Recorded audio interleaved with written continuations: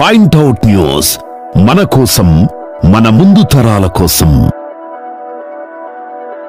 గౌరవనీయులు పెద్దలు మన రాష్ట్ర ముఖ్యమంత్రి పెద్దలు కేసీఆర్ గారు వారు ముఖ్యమంత్రిగా పదవీ బాధ్యతలు చేపట్టిన తర్వాత ఒక మాటను చాలా స్పష్టంగా దేశ ప్రజల ముందు రాష్ట్ర ప్రజల ముందు అదేవిధంగా ప్రభుత్వంలో ఉన్న గౌరవ ప్రజాప్రతినిధుల ముందు వారు ఒకటి పెట్టడం జరిగింది. భారతదేశానికి స్వాతంత్రం వచ్చి ఇంకా ఒక సంవత్సరం అయితే డెబ్భై ఐదేళ్ళు నిండుతాయి. కరెక్ట్గా నలభై ఏడులో స్వాతంత్రం వచ్చింది ఆగస్టు నాడు. మరి దాదాపు ఇంకొక ఈ ఆగస్టు వచ్చిందంటే డెబ్బై ఐదు డెబ్బై ఐదేళ్ళు నిండిపోతాయి. డెబ్బై ఐదేళ్ళు దాటిన తర్వాత కూడా భారతదేశంలో ఇంకా నీళ్ళు లేని ఊర్లు తాగడానికి నీళ్ళు లేని పరిస్థితులు సాగుకు నీరు లేని పరిస్థితి కరెంటు లేని పరిస్థితి నీళ్ళు లేని కాలనీలు. ఇది ఉండడం ఎంత మాత్రం కూడా మంచిది కాదు. కాబట్టి ఒక ప్రణాళిక ప్రకారం ఒక వ్యూహం ప్రకారం ముందు ప్రజల కనీస అవసరాలు కనీస మౌలిక వసతులు వాటిని తీర్చాల్సిన బాధ్యత ప్ర ప్రభుత్వాల మీద ఉంటుందనే విషయాన్ని వారు మొదటి రోజున చెప్పడంతో పాటుగా గత ఏడున్నర సంవత్సరాలుగా అడుగడుగున ప్రజల కనీస అవసరాలు ఏవైతున్నాయో వాటికి అనుగుణంగానే వారు తన కార్యాచరణ రూపొందించుకోవడం జరిగింది.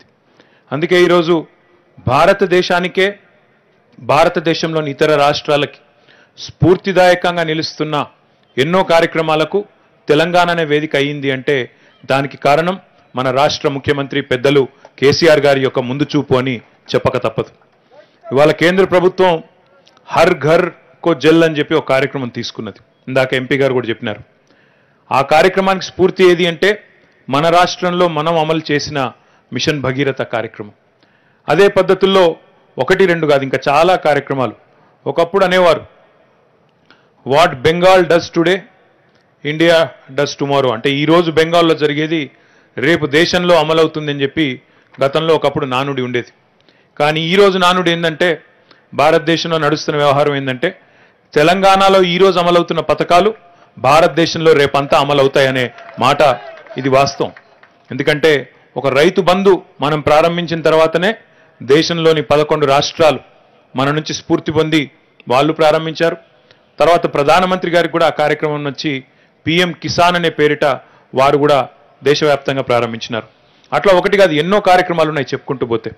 ఈ మాట ఎందుకు చెప్తా ఉన్నా అంటే ముఖ్యమంత్రి గారు ఎప్పుడు మంత్రివర్గంలో కానీ శాసనసభ సమావేశాల్లో కానీ మంత్రివర్గ సమావేశాల్లో కానీ శాసనసభ సమావేశాల్లో కానీ ఎప్పుడూ చెప్పే మాట నేల విడిచి సాము చేయకండి ప్రజలకేం కావాలనో కనీస అవసరాలు ముందవి చూడండి.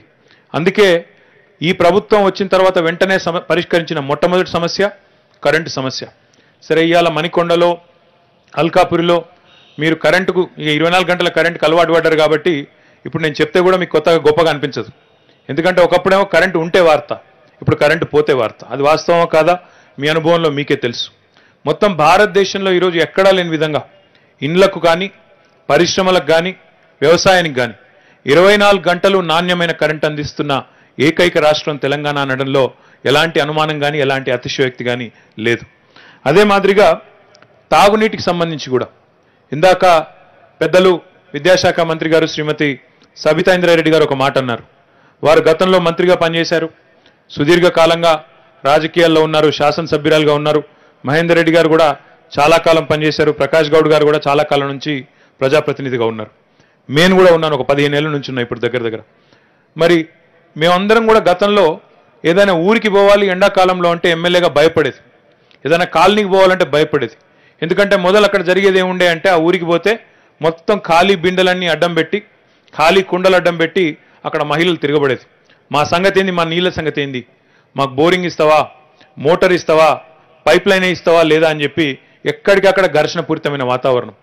అధికారులను వేరే ఏదైనా ప్రోగ్రాం పెట్టి మీరు ఊర్లకు బోండి కాలనీలకు బోండి అని చెప్పి పంపిస్తే అక్కడ కూడా మంచినీళ్ళ కోసం ఘర్షణలు జరిగిన పరిస్థితి. అంతెందుకు నేను చిన్నప్పుడు ఇక్కడే హైదరాబాద్లోనే చదువుకున్నాను కాబట్టి ఆ ఎర్రమంజిల్ కాలనీలో ఉండేది మేము. ఆ ఎర్రమంజిల్ కాలనీ నుంచి గ్రామర్ స్కూల్ హ్యాబిట్స్కి పోయేటప్పుడు అక్కడ ఖైరతాబాద్ మీదుగా పోయేది. ఆ ఖైరతాబాద్లో Hyderabad metro water supply and sewerage board కేంద్ర కార్యాలయం ఉంటుంది. ఎండాకాలం వచ్చిందంటే చాలు ఫిబ్రవరి నెల వచ్చిందంటే చాలు ఆ ఖైరతాబాద్ జలమండలి ఆఫీస్ ముందు ఖచ్చితంగా వందలాది మంది మహిళలు కుండలు బిందెలు పట్టుకొని అక్కడ ప్రదర్శనలు ఖచ్చితంగా జరిగేది. ఇది ఒక ఆనవాయితీగా. ప్రతి సంవత్సరం గత డెబ్బై నాలుగు డెబ్బై మూడు సంవత్సరాల్లో ప్రతి సంవత్సరం జరిగిన కథ. కానీ ఒక్కసారి దయచేసి ఆలోచించాలని కోరుతా ఉన్నాం. తెలంగాణ ప్రభుత్వం వచ్చిన తర్వాత మన ముఖ్యమంత్రి గారు తీసుకున్న కార్యక్రమాల వల్ల ప్రజల యొక్క కనీస అవసరాలు ప్రజలకు కావలసిన కనీసమైన సౌకర్యాలు వాటి మీద ప్రాధాన్యత ఇవ్వాలి వాటి మీద దృష్టి కేంద్రీకరించాలనే ఆలోచనతో ఒక కార్యాచరణ తీసుకోవడం వల్ల గత సం- గత టర్మ్లో first term of the government ఆనాడు మొత్తం రెండు వేల కోట్ల రూపాయలతో మనం హైదరాబాద్ చుట్టుపక్కల ఉండే అన్ని మున్సిపాలిటీలు హైదరాబాద్ చుట్టూ హైదరాబాద్ కార్పొరేషన్లో విలీనమైన అన్ని కార్పొరేషన్లలో రెండు వేల కోట్ల రూపాయలతో ఆనాడు డ్రింకింగ్ వాటర్ స్కీమ్ తీసుకున్నాం.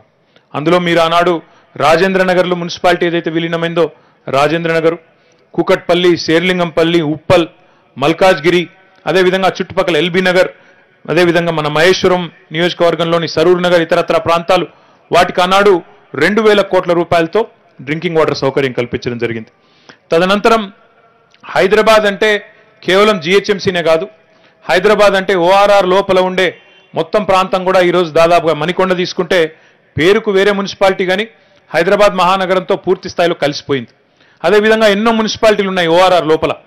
ఈ ఓఆర్ఆర్ లోపల ఉండే అన్ని మున్సిపాలిటీలను కూడా హైదరాబాద్ కిందనే పరిగణిస్తూ హైదరాబాద్ మహానగరం ఎదుగుతున్న తీరు చూసిన తర్వాత ఇదంతా కూడా హైదరాబాద్ కిందనే చూడాలని చెప్పి ముఖ్యమంత్రి గారు ఆలోచన అయితే చేసినారు దానికి అనుగుణంగా ఔటర్ రింగ్ రోడ్డు లోపల ఉండే ఇరవై ఐదు మున్సిపాలిటీలకి గతంలో ఏడు వందల డెబ్బై ఐదు కోట్ల రూపాయలతో మరొక ప్రాజెక్టు కూడా తీసుకున్నాం.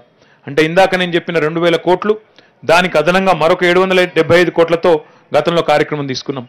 దాంతోపాటు హైదరాబాద్ మహానగరం పెరుగుతున్న వేగం విస్తరిస్తున్న వేగం చూస్తే భారతదేశంలో అన్ని నగరాల కంటే వేగంగా విస్తరిస్తున్న నగరం హైదరాబాద్.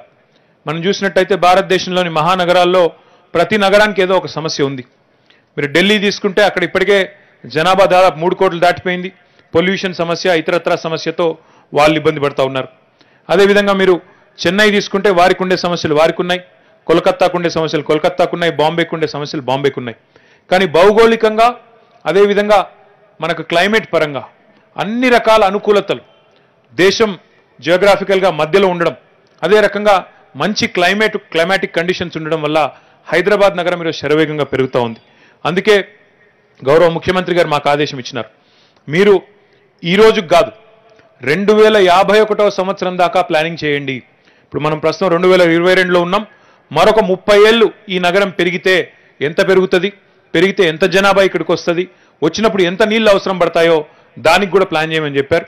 ఈరోజు హైదరాబాద్కి మనం ఆరు వందల ఎంజీడీలు ఎంజీడీ అంటే million gallons per day six hundred MGD ఈరోజు అందించగలుగుతా ఉన్నాం. టూ థౌజండ్ ఫిఫ్టీ వన్ వరకు కూడా ప్లాన్ చేసుకున్నాం. ఒక వెయ్యి గ్యా వెయ్యి మిలియన్ గ్యాలన్స్ కావాలి. Thousand million gallons per day కావాలి హైదరాబాద్కి. ఏది రెండు వేల యాభై ఒకటి నాటికి. వాటికి కూడా ఇప్పుడే ప్లాన్ చేసుకొని ముఖ్యమంత్రి గారి నేతృత్వంలో కృష్ణానది దగ్గర సుంకిశాల దగ్గర ఏదైతే మనం నీళ్ళు ట్యాప్ చేస్తామో అక్కడ ఒక పద్నాలుగు వందల కోట్ల రూపాయలతో మరొక అడిషనల్ లైన్ కూడా వేసుకోబోతా ఉన్నాం. దానికి సంబంధించి కూడా పనులు జరుగుతూ ఉన్నాయి.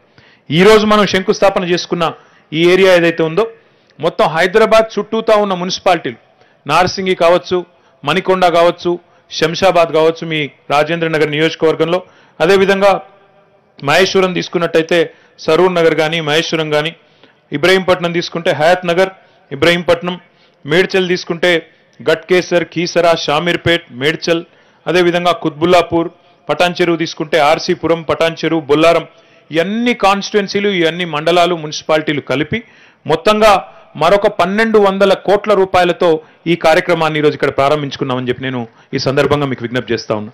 మొత్తం చూసినట్టయితే ఇప్పటిదాకా ఈ ప్రభుత్వం వచ్చిన తర్వాత కేవలం హైదరాబాద్ హైదరాబాద్ చుట్టూతా ఉన్న మున్సిపాలిటీల మీద మంచినీళ్ళ కోసం పెట్టిన ఖర్చు. మొదలు రెండు వేల కోట్లు హైదరాబాద్ శివారు ప్రాంతాల్లో అదేవిధంగా ఓఆర్ఆర్ లోపల ఉండే గ్రామాలు మున్సిపాలిటీలకు మొదటి దశలో ఏడు వందల డెబ్బై ఐదు కోట్లు అదేవిధంగా ఇప్పుడు పన్నెండు వందల కోట్లు ఈరోజు దాంతోపాటు సుంకిశాల దగ్గర మరో పద్నాలుగు వందల కోట్లు. మొత్తంగా ఆరు వేల పైచిలకు కోట్ల రూపాయలు. కేవలం డ్రింకింగ్ వాటర్ సప్లై నూట యాభై ఎల్పిసిడి ఒక్కో మనిషికి అందాలి. హైదరాబాద్కు డ్రింకింగ్ వాటర్ ప్రాబ్లం రాకూడదు. మనం మొన్న చూసినాం చెన్నైలో నీళ్ళకు కటకట ఏర్పడితే ఎక్కడి నుంచో నీళ్ళు తెప్పించుకోవాల్సిన పరిస్థితి. ట్యాంకర్లలో రైల్వే ట్యాంకర్లలో నీళ్ళు తెప్పించుకోవాల్సిన దుస్థితి. అట్లాంటి పరిస్థితి హైదరాబాద్కి ఎన్నడూ రాకూడదు అనే విజన్తో గౌరవ ముఖ్యమంత్రి గారు ఇంత పెద్ద ఎత్తున కార్యక్రమం చేస్తూ ఉన్నారు. దీంతో పాటుగా మరొక ముఖ్యమైన కార్యక్రమం కూడా ఈ ప్రభుత్వం చేయబోతా ఉంది. మీ అందరికీ కూడా తెలుసు కాళేశ్వరం ప్రాజెక్టు. ఏదైతే ఎనభై రెండు మీటర్ల స్థాయిలో సి- మన సముద్ర మట్టానికి ఎనభై రెండు మీటర్ల స్థాయిలో మేడిగడ్డ అనే ప్రాంతంలో గోదావరి నదిలో నీళ్ళు తీసుకొని అక్కడి నుంచి దాదాపు ఐదు వందల ఇరవై మీటర్లు పంప్ చేసి six hundred and twelve metres స్థాయిలో ఉండే కొండపోచమ్మ సాగర్కి మనం మల్టీ స్టేజ్ లిఫ్ట్ లిఫ్ట్ ద్వారా తీసుకొని ప్రపంచంలోనే అతిపెద్ద లిఫ్ట్ ఇరిగేషన్ ప్రాజెక్ట్ని నిర్మించిన ఘనత మన ముఖ్యమంత్రి కేసీఆర్ గారికి దక్కుతుంది. కాళేశ్వరం ప్రాజెక్టు కేవలం కాళేశ్వరం ప్రాజెక్టు కేవలం ఇరిగేషన్ కోసం వ్యవసాయం కోసం మాత్రమే కాదు సాగునీరు కోసం మాత్రమే కాదు కాళేశ్వరం ప్రాజెక్టులో భాగంగా కట్టిన కొండపోచమ్మ సాగర్ కానీ మల్లన్న సాగర్ కానీ అందులో కూడా డ్రింకింగ్ వాటర్ ప్రొవిజన్ ఉంది. ఆ డ్రింకింగ్ వాటర్ హైదరాబాద్కి. ఎందుకంటే ఈరోజు మనం హైదరాబాద్ కోసం మంచినీళ్ళు రామగుండం నుంచి గోదావరి నుంచి తెచ్చుకుంటా ఉన్నాం. మరొక వైపు ఇక్కడ సుంకిశాల నుంచి కృష్ణా నుంచి తెచ్చుకుంటా ఉన్నాం. కానీ హైదరాబాద్కి అత్యంత సమీపంలో ఉన్న కొండపోచమ్మ సాగర్ రిజర్వాయర్ మల్లన్న సాగర్ రిజర్వాయర్ల ద్వారా అక్కడి నుంచి కూడా నీళ్ళు తెచ్చుకున్నట్టయితే శాశ్వతంగా హైదరాబాద్కి మంచినీళ్ళ బాధపోతుంది దాంతోపాటు ఇంకొక ఆలోచన కూడా ముఖ్యమంత్రి గారు చేస్తూ ఉన్నారు. కొండపోచమ్మ సాగర్ యొక్క ఎత్తు ఆరు వందల పన్నెండు మీటర్లు.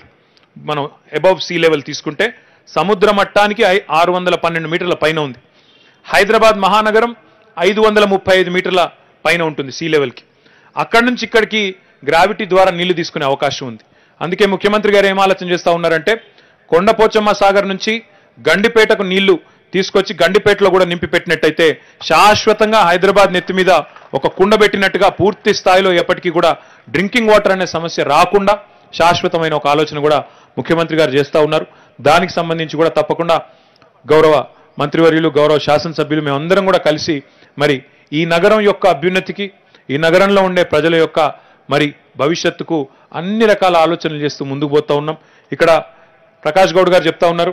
ఇంకా కొంత శంషాబాద్ మున్సిపాలిటీకి కూడా కొంత అదనంగా నిధులు ఇవ్వమని చెప్పినారు. తప్పకుండా ఆ నిధులు ఇచ్చే బాధ్యత కూడా నాది. రాజేంద్రనగర్ నియోజకవర్గంలో ఇప్పుడే అక్క చెప్పినట్టు చాలా మంచి కార్యక్రమాలు జరుగుతూ ఉన్నాయి. మనకి ఇక్కడ నార్సింగి దగ్గర కొత్తగా ఒక ఇంటర్చేంజ్ కూడా ఏర్పాటవుతున్నది. దాంతోపాటు ఇంకా ఇతర కార్యక్రమాలు కూడా చాలా జరుగుతూ ఉన్నాయి. ఈ అన్ని కార్యక్రమాల్లో కూడా దయచేసి భాగస్వాములు కండి. మరి ఇక్కడ ఇద్దరు మున్సిపల్ చైర్మన్ గారు వైస్ చైర్మన్ గారు కూడా ఇద్దరు నరేంద్రులే ఉన్నారు. వారిద్దరు కూడా మంచిగా కలిసికట్టుగా రాజకీయాలకు అతీతంగా ఎమ్మెల్యే గారితో ఎంపీ గారితో అందరు కూడా కలిసికట్టుగా నడిచినట్టయితే బాగుంటుందని చెప్పి కూడా విజ్ఞప్తి చేస్తూ I remember very well Alkapuri టౌన్షిప్లో ఒక రెండు మూడేళ్ళ కిందట ఇక్కడ డెమాన్స్ట్రేషన్స్ కూడా జరిగినాయి. మంచినీళ్ళు కావాలి మాకని. ఆ డెమాన్స్ట్రేషన్లు చేసిన వాళ్ళు ఎవరైనా ఇక్కడ ఉన్నారో లేదో నాకు తెలియదు కానీ ఉన్నారు ఎవరన్నా? అందరూ లేరు కొందరే ఉన్నారు. ఇదే సమస్య అది కాదు ఇదే సమస్య. లొల్లి పెట్టేటప్పుడేమో అందరు ఉంటారు పరిష్కారం అయినప్పుడు కనబడరు. అది పాయింట్ హైదరాబాద్లో హైదరాబాద్ పట్టణ ప్రజలతో అదే బాధ. బట్ ఏ- ఏదేమైనప్పటికీ ఒక శాశ్వతమైన దీర్ఘకాలికంగా అపరిష్కృతంగా ఉన్న ఒక సమస్య రాబోయే ఆరు నుంచి పన్నెండు నెలల్లో పరిష్కారమై మీ అందరికి కూడా సమృద్ధిగా మంచినీరు రాబోతున్న శుభ సందర్భంగా మా Hyderabad metro water supply and sewerage board MD గారికి వారి సిబ్బందికి అల్కాపురి అదేవిధంగా ఈ శివారు ప్రాంతాల్లో ఉండే మరి మున్సిపాలిటీల ప్రజలకి ఈ పన్నెండు వందల కోట్ల రూపాయల శాంక్షన్ కోసం కృషి చేసిన గౌరవనీయులు మంత్రివర్యులు శ్రీమతి సబిత గారు. ఎందుకంటే వారు క్యాబినెట్లో అడిగారు ప్రత్యేకంగా. మాకు కావాలి ఇవ్వాలి అని గట్టిగా అడిగినందుకే ముఖ్యమంత్రి గారు ఇవ్వడం వల్ల ఈరోజు తొమ్మిది వందల డెబ్బై ఎనిమిది కాలనీలు గేటెడ్ కమ్యూనిటీలకు కూడా దీనివల్ల నీళ్ళు రాబోతున్నాయనే విషయాన్ని కూడా మళ్ళొకసారి విజ్ఞప్తి చేస్తూ మీ అందరికీ ధన్యవాదాలు తెలియజేస్తూ జై తెలంగాణ.